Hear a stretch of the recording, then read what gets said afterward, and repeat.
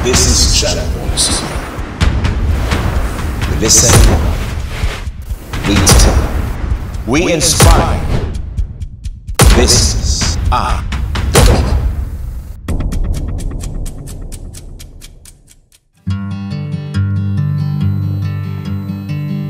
Habang nandito po kami sa Manurigao, New Bataan, Davao de Oro, um, habang sinushoot namin itong kalsada na nakarating na nga dito sa sentro ng Barangay Manurigao, naalala nyo no nakarang upload natin ay in-upload natin yung concern ng ating teacher na si Jora Milvito tungkol sa kailangan nila na footbridge sa Malumagpak River. Ngayon po, um, we were also guided towards a footbridge. Diyan naman sa Manurigao River. Kasi pag pumunta ka dito kasi sa Manurigao, you will witness and you will see two rivers. Itong Manurigao, tsaka itong Malumagpak. Now this time, pinapunta kami doon sa, Malumag, sa Manurigao River. May isang sityo dito dadaan. Sityo pa rin siya ng Manurigao. They call it Sitio Tanggaan. Um, dahil nga that's part of uh, Barangay Manurigao, para makarating ng matiwasay at ligtas yung ating mga residente sa Tanggaan patungo dito sa Manurigao, kailangan nilang lumikha ng footbridge. They want us to witness and they want us to to see for ourselves kung ano ba ang itsura ng footbridge na iyan. And my goodness, parang sabi ko, where is where is justice sa mga ganong klaseng tulay? That is why tama lang din na itong kagawad na tinuluyan namin dito sa Manurigao, dinala kami doon sa bridge na iyan. And tama nga, napakahirap niyang uh, gamitin. Napakahirap tumawid sa Manurigao River gamit yung footbridge na iyan. Ano nga bang sinasabi ko? Panuuri natin kung anong itsura ng footbridge patungong Tanggaan.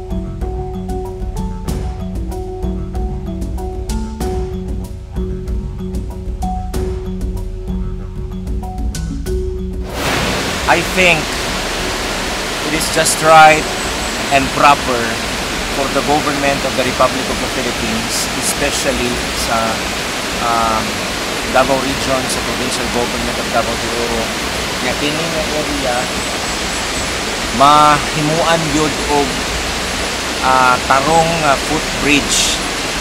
Um, kani ilahan na ning ano, ilahan na lang ning bayanihan, efforts na lang nila ning naiamin ka pero while naa ka dito sa tuka medyo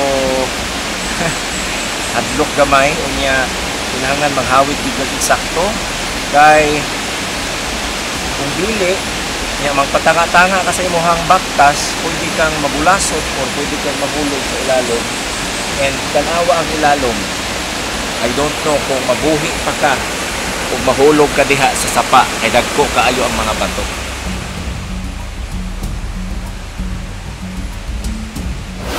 Kinasitas nga pagtabot mo. isip nag-interview para nakita po nimo ang kahimtang sa Manurigaw. Ipabot na ko sa imo nga pwede ba nga pa- mapaabot po nimo sa ubang mga leaders nga anytime matabangan nato sa next year di na ta maglisod kaya itong mga tao nga muagi di na pod maglisod. So malipay na niya na tungod. Ato ba yan ang mga tao sir?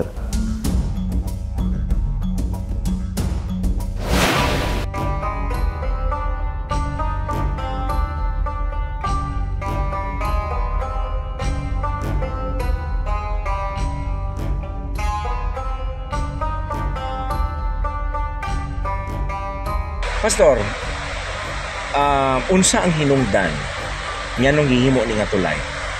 Ah, gibuhat namo ni nga tulay para maagian namo, agian po sa tao panahon. Moadto mi sa barangay nahon sa kanang mga panginahanglan namo at pong libataan. Tulad song mi, dili mi nagaagi Mm. kay kung muulan di man ni katabok tungod sa katusod sa tubig o nang buhat na muling tulay para lang ano magiyan ah sa pagsugod na mo ani kanang di nag uh, tumbamig kahoy dito sa kanang sa pikas. Kunya dito pod mo pagtunggang diri sa kanang tumoy dito mi nagaagi ning latay mi. Kunya ang kable gibira dito gitunol dito sa katangnar sa pikas nya gitunol nya gi kanang gi kanog kanang bisi Mm. pagabot dito gi kuan gibira dito mao nang gi maka kuan maka army Okay, lisod. Aw, so sa kalisod sir, perti kong lisura. Alos kanang murabag isugal nimo mong kinabuhi ba sa kakusog kakusog sa tubig. Unya mo tabok ka diha, mugunit kag kanang mubira ka ning kable. Biraw nimo pa taas, ugtan nimo, perti kong lisura. Okay. Karon, asa man mo gikan aning mga kable? Dito mi sa kuan sa oriental nga bahin Mm. panahon pa ni ni Enrique kompanya Oh. Kaning nakitan man namo dito, niya nalangid mi sa kuan kanang sa purok kanya sa tribal food, tribal leader dito sa Oriental. Kaning natugot po sila ay para pag magamit kami diri. Unsa nga barangay to? Kuan barangay Binundo niya purok Mantapay. Amo di pananghira na ani. Mm. Aso na ay tulay dito. Wala pod, sir. Para unsa man nga kable dito nga gigamitan? Nabilin sa kumpanya kaniya to. ah, sa Indriwi. Nabili nila wala yung gidala. Kay sa una, ang gikuan sa kahoy, kanang kuan man, kanang raker or Mm. kanang iskagit sa una. Oo. Kung gikuha nila sa kahoy. Nung nang nabili ning kable, kaya sa kuan, sa Bantapay, ito binananghin. Kung sa tuigan ninyo ni gi tukod. Nagawa daw ang bagyong Pablo. 12. Oo, 12. Ibuhat na mo. Pagka January, ibuhat na mo ni ini nga tulay. Kaya di naman magyan dito sa ubos. Oh. Kay katong tulay na mo sa una, ah di ko ba man sa Baging Pablo, tanang kabli gipanghanod. Tanang gi kuan pod kanang gi talian nani dito sa pikas o pikas na kuan man naguba man tanan. Oh. Oh. Nang mamita mig pabor, kung diri mi nakakita, diri karon natupod ni nga tulay. Okay. Kumusta karon ang kining atong tulay? Aw, sa mo lang kabahin, ah, okay na miyani pero kung doon na po mo kuhan, sa una giduso na mo sa barangay nga pwede yung tali makuhanan. Yani, nangayon mi kuhan, ah, nangayon mi kanang kani kabilya na igihatag sa barangay, ah, wala po makaapod lagi. Kung kapag sa kuhan ng ibay, pwede po masaligan. Sa mo nga kuhan sir, dili ni delikado para sa amo. Bot lang sa inyo, o kuhan. Ang sahay pod, kung panahon ka ng kabuk-kabuk na ni, ah, delikado jud. Night time nga nagtabok mi dito, ah, nakatabok pa man mi dito sa ubos. Niya kini nga kuhan, kanang kabuk kabuk naman. Aning kung gusto na lang gid mig kuhan tabok. Taman sa kanang makatabok ning tabok. Pero katong wala makatabok nagpaabot na lang nga mo gamay ang sapa para lang makatabok. Okay, pero in the meantime, kani adto samtang wala ni asa mo tigagian. dito sa ubos sir. Sa tulay kanyan to sa unawa pagiguba sa Pablo. So unsa imong panawagan karon sa gobyerno para sa uh, kahimtang ninyo nga naamoy tulay nga samaan eh. Ah, ako lang panawagan sa gobyerno nga matanaw nga mong ah, kanang kalidad alisod pud sa among dalan ani ang mga bata mag-eskwela sir ah, dili makatabok usahay gani yatod na lang sa mga ginikanan patabok kay para po dili mabalaka kung napay panahon nga sundoon po diri ang mga kuan kanang mga buntis magpaprenatal sa kuan barangay usahay pod maglisod pagtabok tungod sa kahadlok Hmm. Muna akong panawagan sa gobyerno kung mahimo, anawon ko lang among ah, kalisod, partikular ani nga mong tulay nga unta, mabago ba usab panawagan niya. Okay, di ba ang tanggaan ay eskwelahan? Naa sir, Pero unsa man tayong giingon nga mutabok pa ang mga bata dire? kuwan sir sa kanang mag high school na sir. High school na, 1 to 6 man to dito gi kuan, 6 Ah, lang. Sa pag high school na diri na mag-eskwela sa barangay. Aw sa ako lang sir, mo gani nga ningani ko pagtawag sa kuha ni kagawad, uh, wagid ko naglangang kay ah, tungod lang kay kini po panginahanglan pud namo. mm, Nalipay pod ko pagayo kung di panang panalangin gid sa Ginoo tubago ni nga akong panawagan sa gobyerno ah usa na mo gamit sa Ginoo sir. amen. Gamit sa Ginoo. Gaampo mo para aning tulay. Oh sir, always timing nga nagampuan ni nga matabangan mi pod sa kuan sa kanang karsada nga mapaabot diri sa amo kay kung wabot na gid ang karsada diri adi na mi magsige ka magangga kay mas dool man diri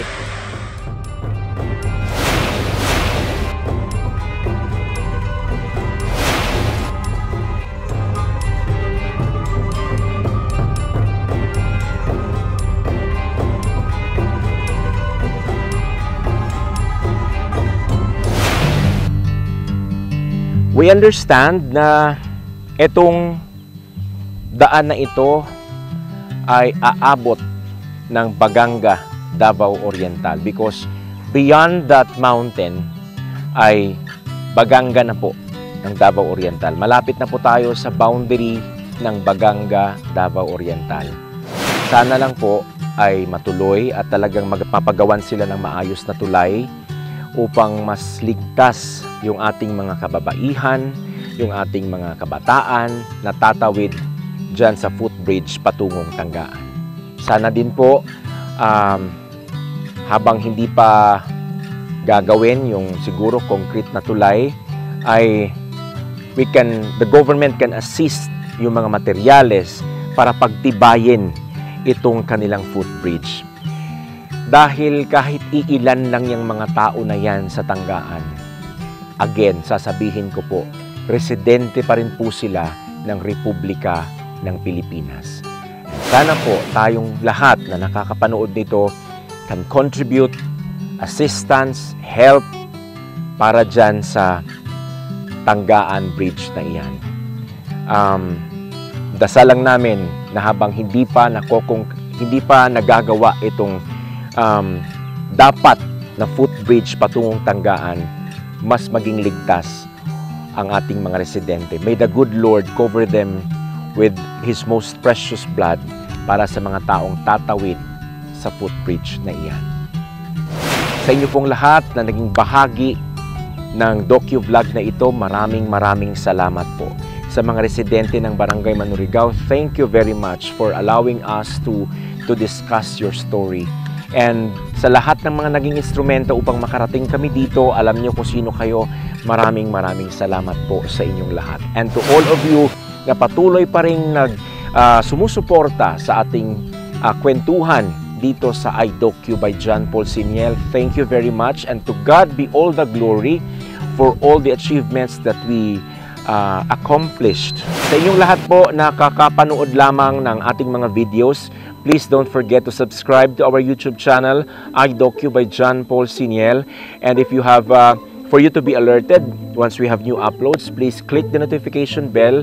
And for some comments and suggestions, please send them to our email address flashed on your screen or to our messenger on Facebook.